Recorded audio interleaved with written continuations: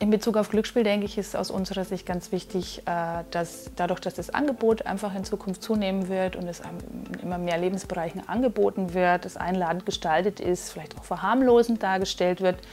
wenn man mehr Menschen kennt, die vielleicht auch mal spielen,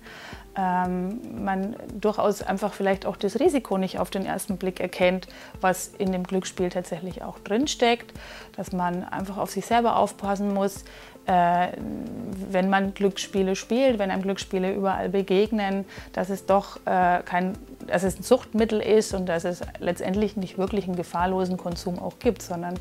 äh, dass es immer, immer ein Risiko gibt, äh, sich, sich in diese Faszination rein, reinzurutschen von Gewinnen und Verlusten, äh, nicht zu merken, wenn die Verluste dann doch zu hoch werden oder die negativen Konsequenzen zu spät einfach wahrzunehmen. Also letztendlich, glaube ich, geht es darum, dass jeder Einzelne für sich dieses Risiko durchaus bewusst machen muss, was einem nicht auf den ersten Blick